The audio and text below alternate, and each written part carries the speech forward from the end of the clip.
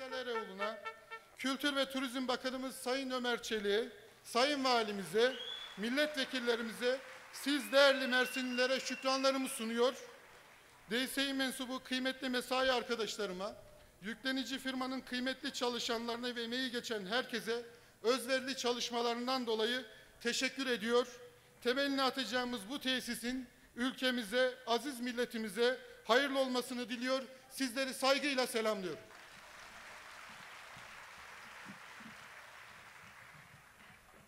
Sayın Genel Müdürümüze teşekkür ediyoruz. Sayın Bakanım, saygıdeğer konuklar, az sonra Kültür ve Turizm Bakanımız Sayın Ömer Çelik tarafından gerçekleştirilecek törenlerde iki noktada canlı bağlantıyla bizlerle birlikte olan değerli konuklarımız var. Öncelikle Aydıncık Göleti'ni şu an karşınızda bulunan ekranlarda görebileceksiniz. Orada bizimle bulunan değerli konuklarımız az sonra Sayın Bakanımızın gerçekleştireceği törende tekrar karşımızda olacaklar. Ayrıca Aksıfat Barajı'nda yine bizlerle birlikte olan değerli konuklarımız var. Onlar da az sonra gerçekleştireceğimiz temel atma töreninde bizlerle birlikte olacaklar. Kendilerine de buradan tekrar hoş geldiniz diyor, saygıyla selamlıyoruz.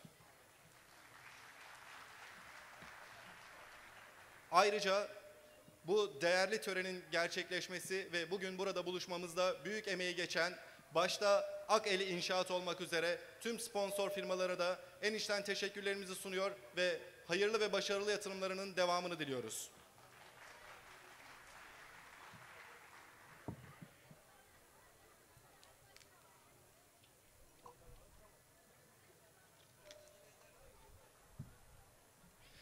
Sayın Bakanım, Mersin Valimiz Sayın Özdemir Çakacak'ı konuşmalarını yapmak üzere huzurlarınıza davet ediyorum.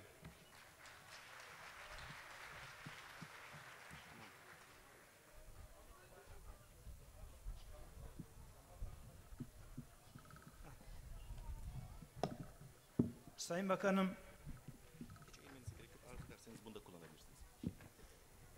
Sayın Bakanım, Sayın Milletvekillerim, saygıdeğer hanımefendiler, beyefendiler,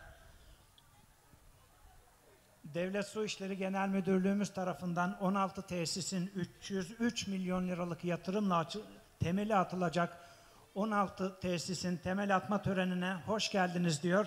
Hepinizi sevgi ve saygıyla selamlıyorum. Sayın Bakanım izniniz olursa iki bağlantı yapılacağından hava kararmadan müsaadenizle ben bir selamlama konuşması yapıp e, zat halinize mikrofonu vereceğiz. Sayın Bakanım, değerli konuklar, Mersin ilimiz Yüce Mevla her türlü güzelliği, zenginliği vermiş. Adeta cennetten bir köşe. Bünyesinde barındırdığı bu güzellikleri, bu zenginlikleri yaşatmak ve ekonomik artı değere dönüştürmek adına her türlü yatırımı hak eden bir kent. Hak ettiği bu yatırımları da bugün burada 16 tesisin temel atması 303 milyon liralık yatırımıyla hükümetimiz bir bir Mersin'e vermektedir. 12 yılda Mersin Devlet Su İşlerin Genel Müdürlüğü'nden 1 milyar liralık yatırım almıştır. Asrın projesi dediğimiz Kuzey, Kub- Kuzey Kıbrıs Türk Cumhuriyeti'ne deniz altından su götürme projesi hariç. O da yaklaşık 1 milyar lira tutmaktadır. Bu yatırımların ilimize kazandırılması dolayısıyla başta Sayın Cumhurbaşkanımıza, Başbakanımıza, hükümetimize ve Sayın Bakanımıza şükranlarımızı arz ediyoruz. Kült- Sayın Kültür Turizm Bakanımız da yoğun mesaisine rağmen bizlere vakit ayırdılar. Kendilerine şükranlarımı arz ediyorum. Temelini atacağımız tesislerimizin başta çiftçilerimize, üreticilerimize, Mersin'imize ve ülkemize hayırlı uğurlu olmasını temenni ediyor. Tekrar hepinizi saygıyla selamlıyorum.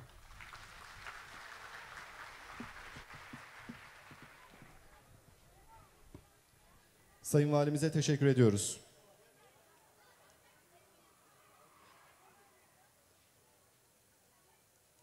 Çukurova'nın yetiştirdiği ve Türk siyasi hayatına kazandırdığı, sadece kültür ve turizm alanlarında değil, ülke gündemine ilişkin her konuda duyarlılığıyla halkımızın minnet ve takdirini kazanmış olan, kendisini burada halkın ve hakkın hizmetine adayan Kültür ve Turizm Bakanımız Sayın Ömer Çelik, hitaplarınızı yapmak ve temel atma merasimlerini gerçekleştirmek üzere teşriflerinizi arz ederim.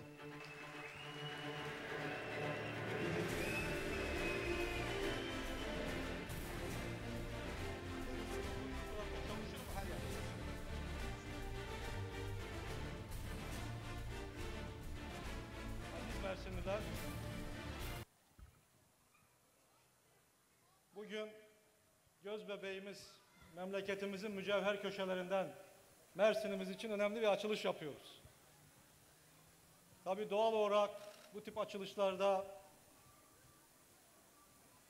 geçmişteki birçok hizmeti anmaya fırsat olmadan bugünden bahsediyoruz.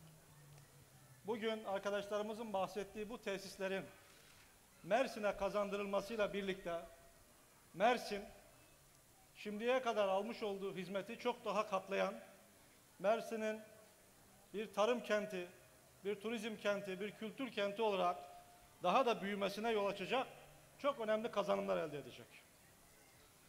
Sayın Cumhurbaşkanımızın Başbakanlığı döneminden biliyorsunuz. Mersin'e özel bir sevgisi vardır, özel bir bağlılığı vardır. Sayın Başbakanımız aynı şekilde. Sayın Veysel Eroğlu Bakanımız bütün bu yatırımlarla kendisi bizzat ilgilenmektedir. Hatta o kadar hassas ki sadece bu açılış için bir aksama var mı diye şimdiye kadar üç kere aradı beni. Herhangi bir aksama olmasın, Mersinlilere güzel bir şekilde sunulsun diye. Allah'a şükürler olsun, Türkiye'nin her yerinde akla hayale gelmedik imkanlarla, akla hayale gelmedik bütçelerle büyük yatırımlar yapıyoruz. Ve bunların sadece temelini atmakla kalmıyoruz, gün vererek açılışlarını da yapıyoruz. Şimdi bakınız, geçen gün gazete manşetlerini karıştırıyordum. Gazete manşetlerinde şöyle bir şey gördüm. 2001 yılında bir gazetenin manşetinde şu yazıyor. Diyor ki Türkiye'de ekonomi iflas etti. Altına da şunu yazmış. Diyor ki devlet iflas etti diyor. Devlet iflas etti diyor. Devlet iflas edince ne oluyor? Altında şunu yazıyor. Diyor ki devlet iflas etti. Yurt dışına büyükelçi gönderecek paramız yok. Hatta diyor yurt dışına büyükelçi göndermeyi boş verin. Yurt dışında bir tane büyükelçimiz vefat etse onu Türkiye'ye getirecek paramız da yok. İşçi 6 aydır maaş alamıyordu. İşçinin 6 ay maaş alamaması ne demek? Bir ülkede maliye yok olmuş demek. Bağkur ve SSK iflas etti diyor. Şimdi bakın. Bakın bugün Sayın Başbakanımız öyle projeler açıkladı ki bu projeler içerisinde artık Türkiye milli tankını, milli gemisini yaparken aynı zamanda da aynı zamanda da kendi savaş uçağını yapabilecek kapasiteye erişti. Geçen gün ben sizle gurur duyuyorum. Bundan bir ay kadar önce bundan bir ay kadar önce Katar'ı ziyaret ediyordum. Katar'ı ziyaretim sırasında Büyükelçimiz Büyükelçimiz Koruma arkadaşlar açın bakayım önümü. Burada Mersinlilerin arasındayım. Herhangi bir tehlike söz konusu değil. Büyükelçimiz dedi ki bana Büyükelçimiz dedi ki efendim dedi şu anda bir bir bir savaş gemimiz Katar'ı ziyaret ediyor dedi. E, bu ziyarete dedi şu anda akşam da resepsiyon vereceğiz. Bu resepsiyona katılır mısınız dedi. Tabii ki katılırım dedim. Savaş gemimiz Somali kıyılarından gelmiş Katar'ı ziyaret ediyor. Geminin özelliği ne? Gemi milli savaş gemisi. Bu gemiyi yabancılardan almamışız. Kendi mühendisimizle, kendi işçimizle kendimiz inşa etmişiz ve Katar'a tanıtmaya götürmüşüz. Geçen gün Başbakanımız açıkladı. Başbakanımız açıkladı. Dedi ki Başbakanımız benim yolculuğum sırasında helikopterime karşı koruma görevi yapan iki helikopter milli helikopterlerimiz, atak helikopterlerimiz. Şimdi hep beraber göreceğiz.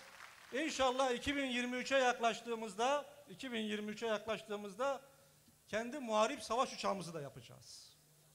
Şimdi bakın bütün bu yatırımlar, bütün bu yatırımlar biz burada otururken, burada biz protokolde otururken bizleri sayıyorlar. İşte bakanlara teşekkür ediyorlar, milletvekillerine teşekkür ediyorlar.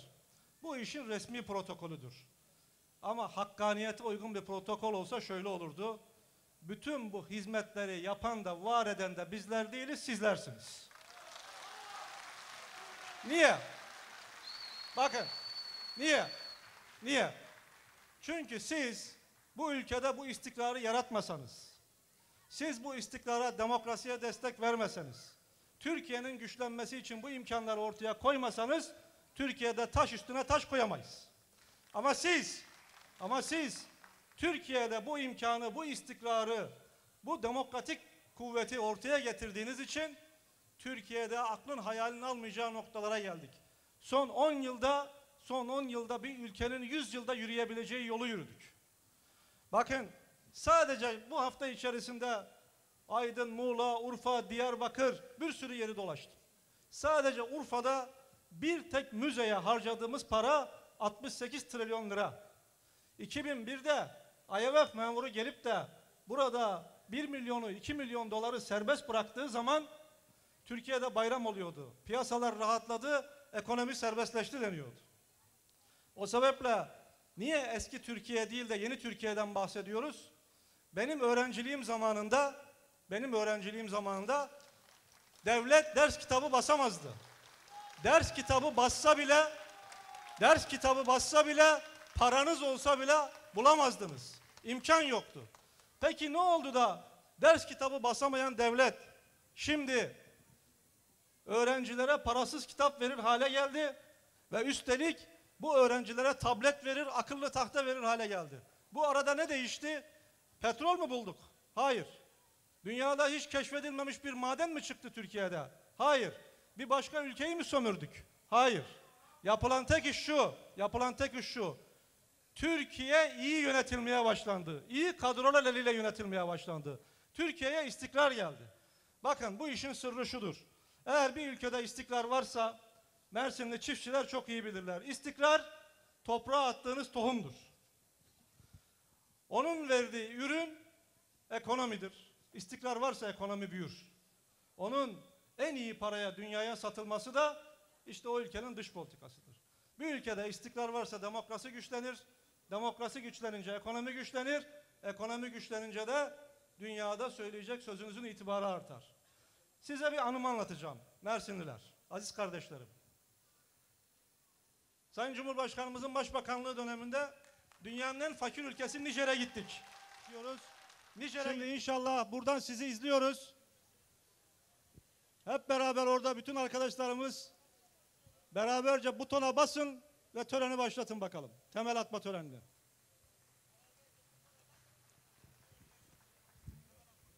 Ya Allah, Bismillah. Hadi hayırlı olsun.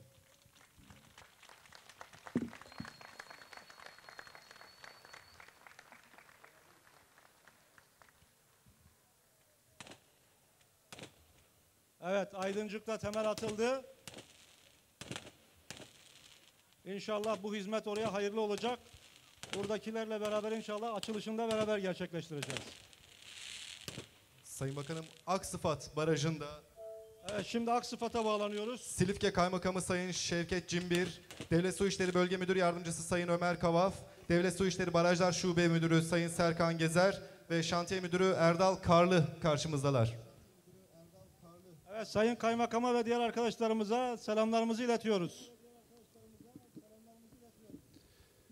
Sayın Bakanım, başta zat-ı halinize, Sayın Valimize, Sayın Milletvekillerimize ve değerli konuklara sabahı güzel, bahtı açık, devletimizin ve hükümetimizin yaptığı birbirinden değerli yatırımlarla her geçen gün biraz daha bahtı açılan Silifke'den, Torosların tepesinden selam ve saygılarımızı sunuyoruz.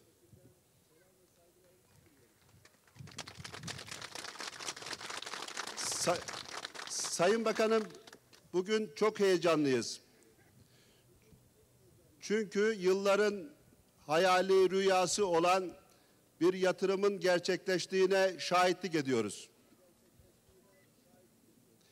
Teşriflerinizle temeline attığımız Aksıvat Barajı'nın gerçekleşmesinde emeği geçen başta Sayın Cumhurbaşkanımız ve Sayın Başbakanımız olmak üzere Orman ve Su İşleri Bakanımıza, DSİ Genel Müdürlüğü yönetici ve teknik elemanlarına, Silifke'de yaşayan çiftçilerimiz ve vatandaşlarımız adına şükranlarımızı sunuyoruz. Temelini attığımız Aksıvat Barajı'nın başta bölgemize ve genelde ülkemize bereket ve hayırlar getirmesini diliyor, saygılar sunuyoruz efendim. Biz de çok teşekkür ediyoruz. Sağ olun, var olun. Şimdi arkadaşlarımızla birlikte butona basın ve inşallah temel atmayı gerçekleştirelim. Hayırlı uğurlu olsun. Haydi hayırlı olsun bakalım. Butonun biri boş duruyor, ondan başılmadı.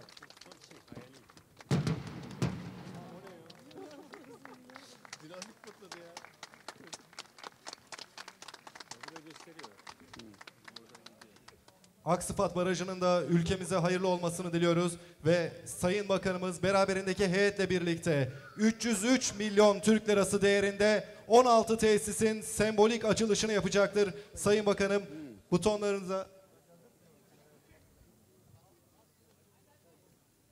Sayın Bakanım buyurunuz.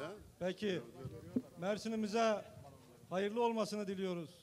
İnşallah bunların en kısa zamanda açılışını da beraber yapacağız.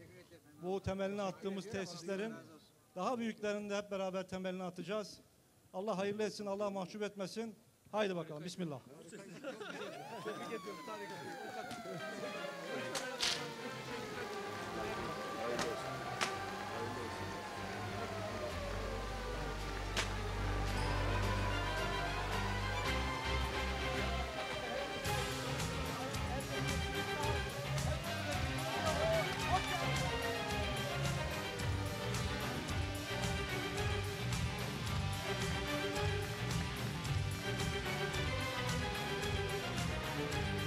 ...303 milyon Türk lirası değerindeki 16 tesis Mersin'imize, Çukurova'mıza, ülkemize hayırlı uğurlu- olsun diliyoruz.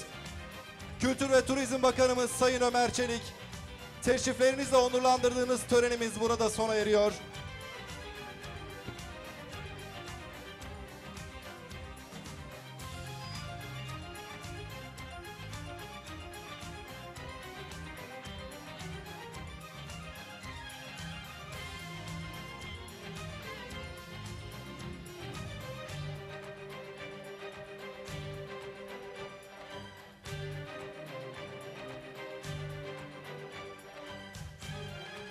Mersinlilere ve Çukurovalılara verdiği değeri bugünkü törenimize teşrifleriyle onurlandıran Kültür ve Turizm Bakanımızı en içten en derin saygı ve selamlarımızla uğurluyoruz.